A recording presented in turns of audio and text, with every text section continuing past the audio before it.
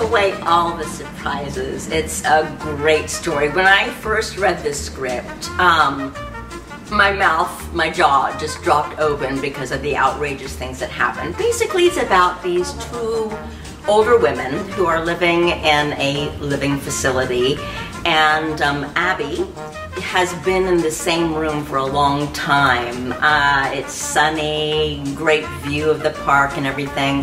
And Marilyn, who is my character, enters, and Abby tries to make me leave, basically, because she wants the room to herself. She can't pay for that room.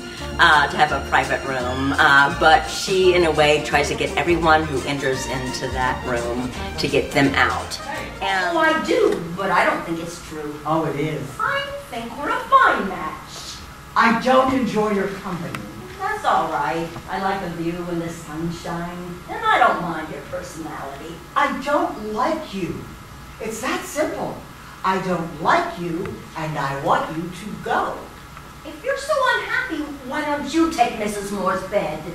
Oh, God, is that what uh, it's really about life. It lets you know that as even as you get older, there's still a lot of strength in you. There's still a lot of courage. There's still a lot of life in you, and to um, and just go for it. Well, David Lindsay Abaire has written some incredible scripts uh, with really wonderful characters, and there's a lot of um, humor in his scripts and a lot of um, poignant moments in his scripts. So hopefully the audience will come away with a, a better un understanding of themselves and their journey through life as well.